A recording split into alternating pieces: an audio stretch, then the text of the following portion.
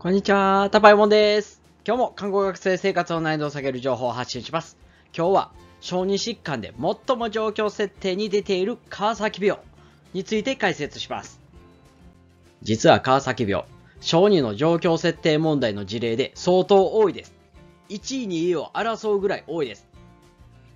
状況設定の問題で出てきたら、だいたい10年ぐらいはもう出てこないんですけども、川崎病は108回、103回、101回、95回と異例の多さです。ということは、短いスパンであれば2年に1回、長いスパンで見ても6年に1回出ています。しかし、問われる内容はかなり決まっています。もうパターンが決まってるんですね。なので、後半では告知問題を出題します。そして、なんとなくこのパターンが問われているな、それを分かってください。ただし、いつものようにしっかり治療とかを理解してください。すると、いろんな知識にも応用できます。では行きましょう。川崎病とは、原因不明なんですけども、主に中くらいの血管に炎症が起こる病態です。といっても、ちっちゃい血管でも炎症が起こります。川崎病の診断はこのようになっています。発熱、眼球結膜、充血、いちご舌などが5つあれば、川崎病定型例4つでも感動脈瘤があれば、もう無理です。皆さんご安心ください。この診断基準6つ、すべて問われたことは国家試験ではないです。ただ、問題文でこういったものが出てくるので、あ、これ川崎病っぽいな。そういう風なは予測できるようにしておくといいです。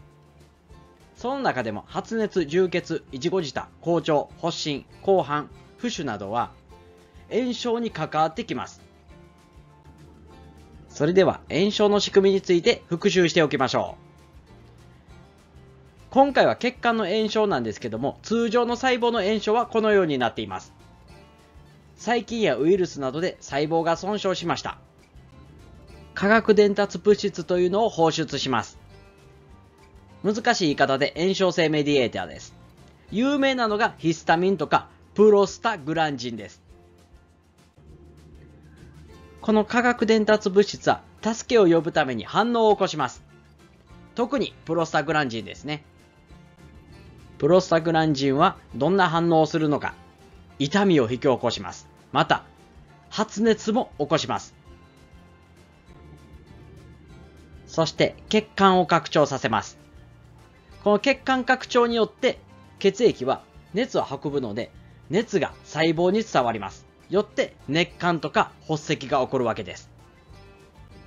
また、プロスタグランジンなどは血管の隙間、もっと言うなら血管の壁をスカスカにさせます。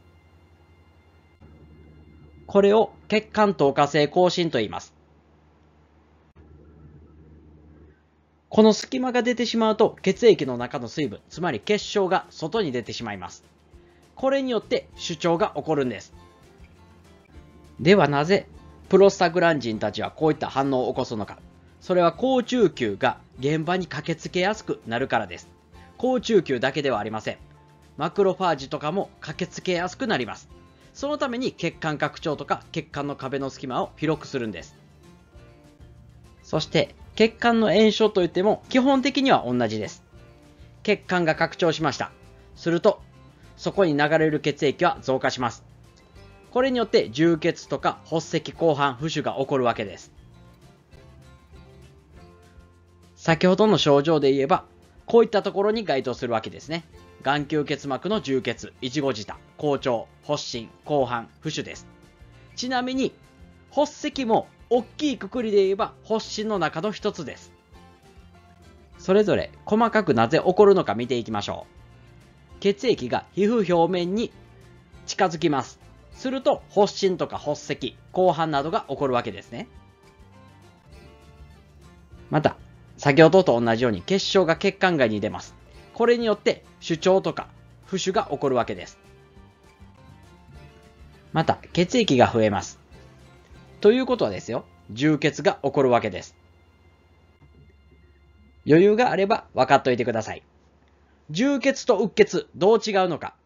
充血というのは動脈に血液が増加した状態です。それに対してうっ血は静脈に血液が溜まった状態です。充血は動脈、うっ血は静脈です。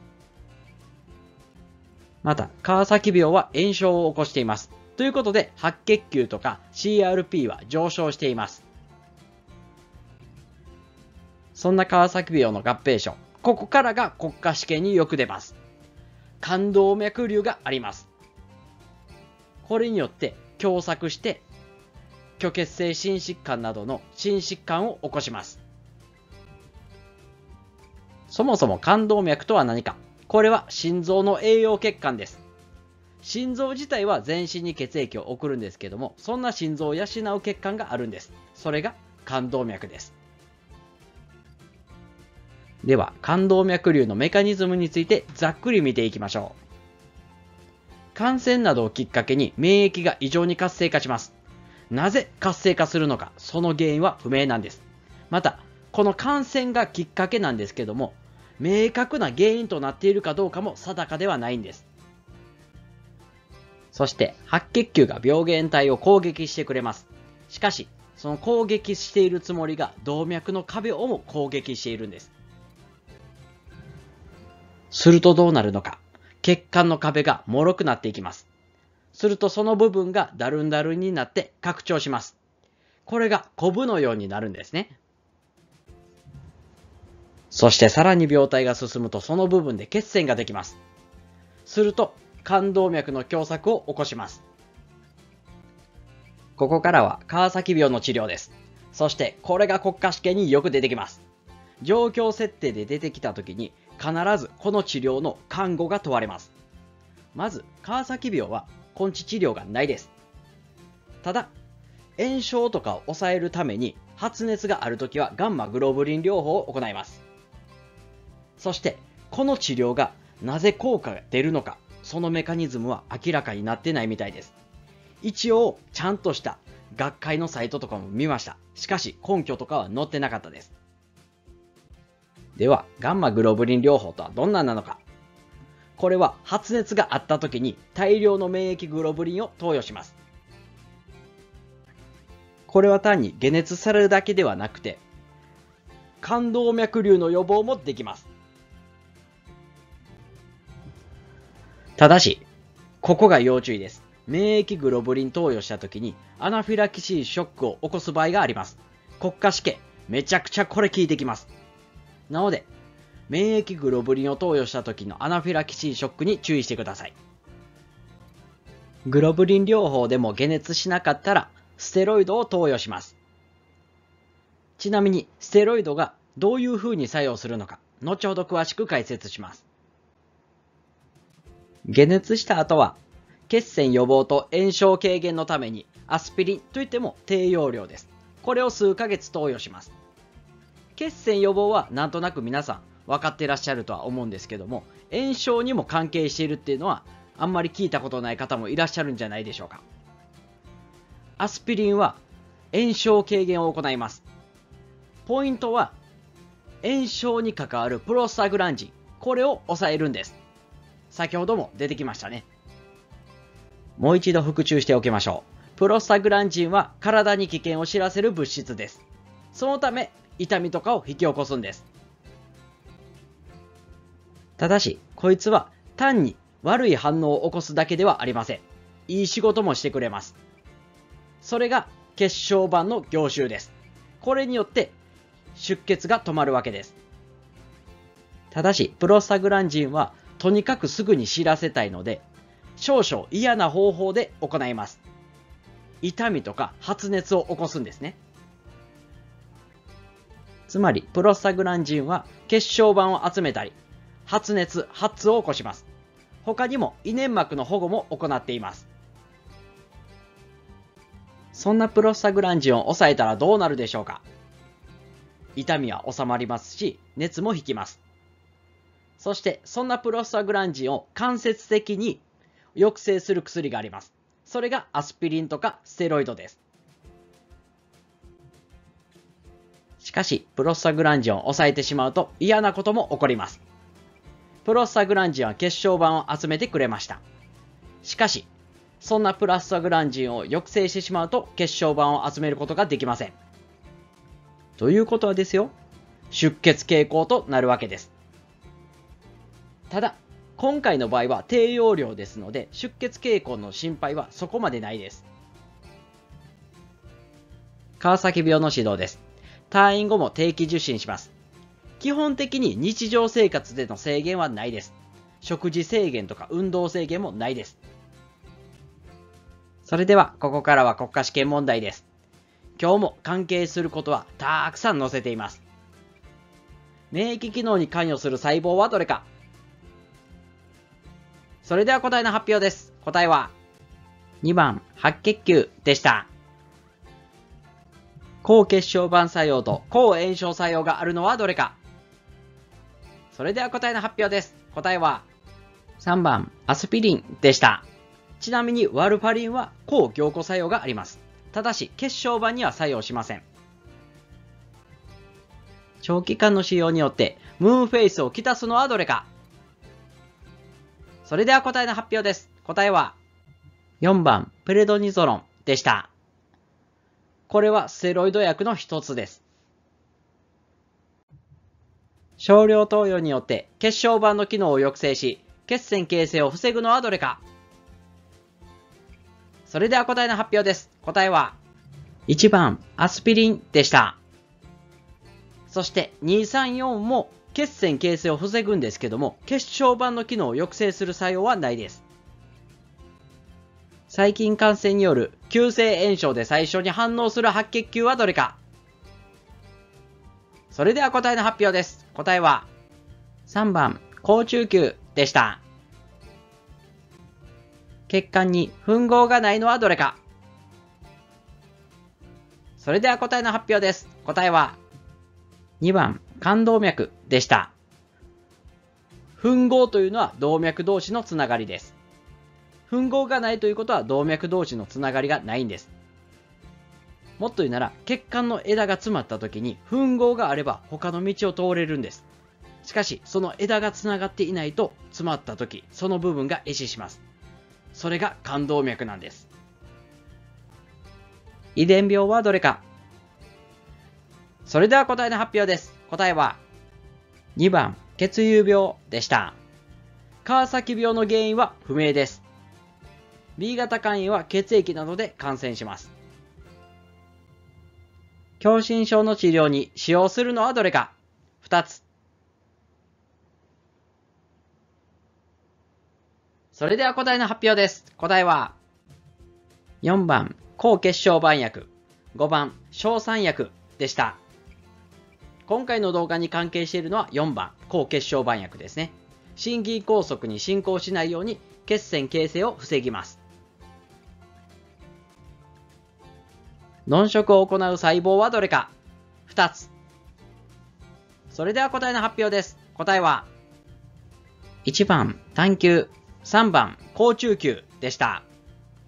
ちなみに単球というのは血管外に出るとマクロファージになります。炎症の4兆候に含まれるのはどれかそれでは答えの発表です。答えは2番主張、4番発石でした。血管拡張によって血液量が増えます。外から見るとその血液が増えたところが赤く見えます。なので発石です。そして血管透過性というのは血管の壁の隙間です。それが広がって結晶が外に漏れます。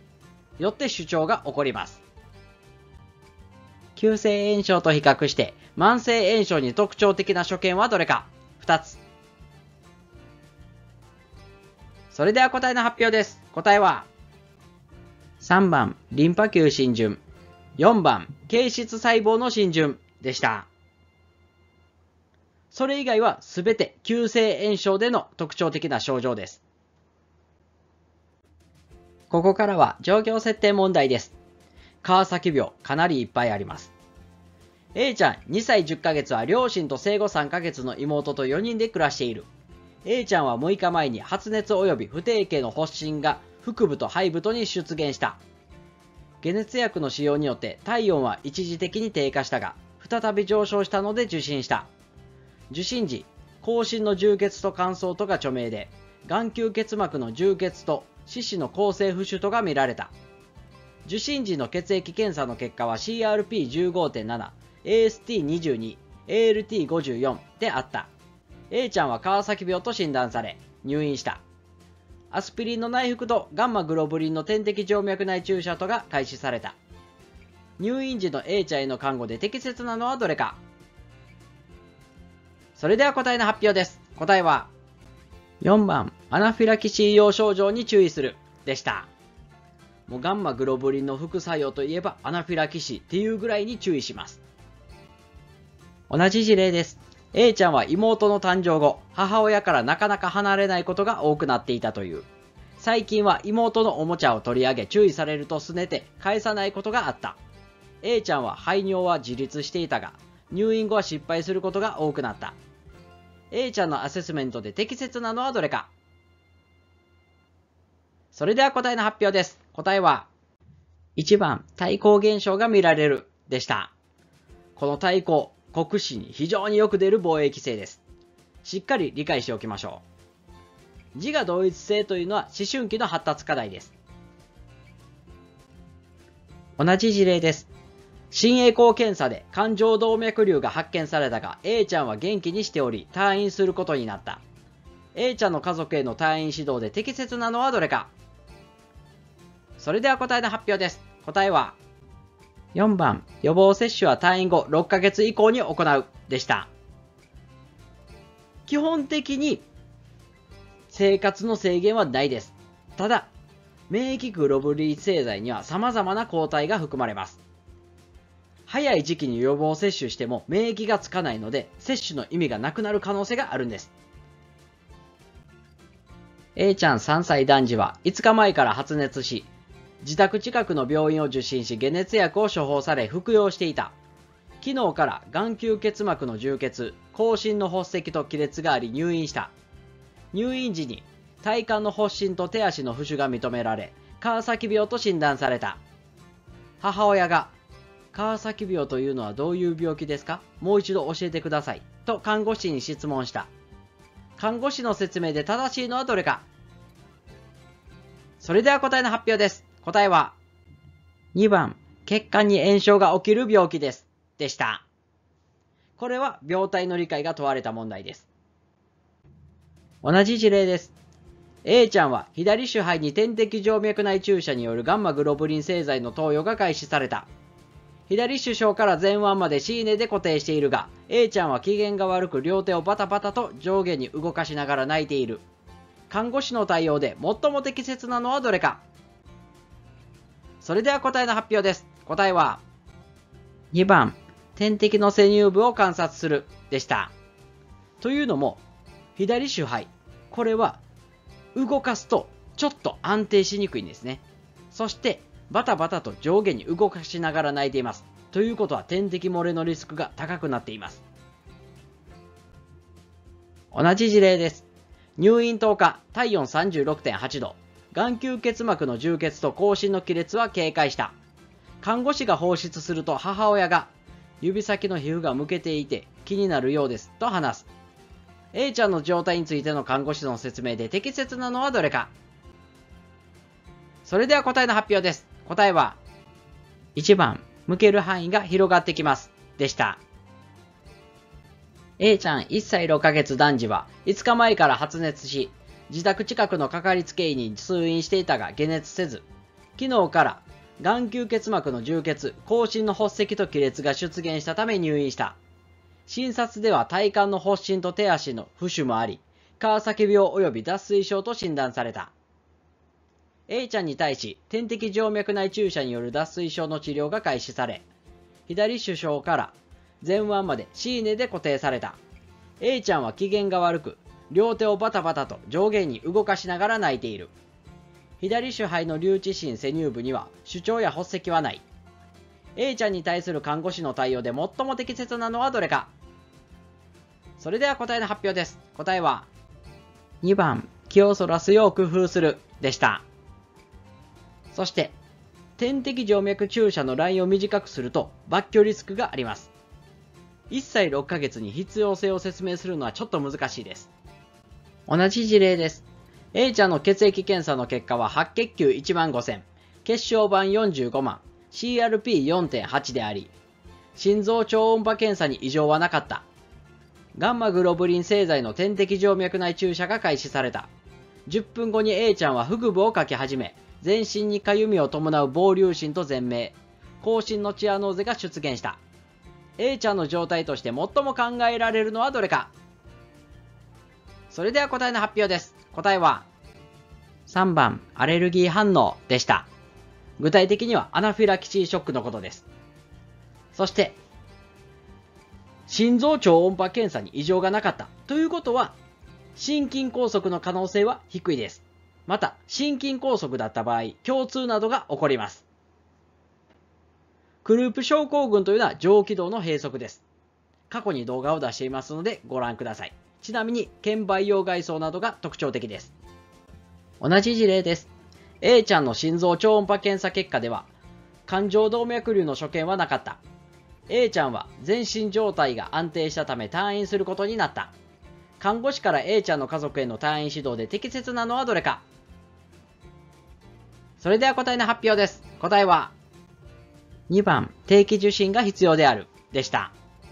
それ以外に、予防接種。これは6ヶ月以上後にする。それぐらいですね。それ以外に制限はないです。1歳6ヶ月の女児。父親と専業主婦の母親との3人家族である。6日前から発熱と左頸部リンパ節主張があり、筋医を受診していた。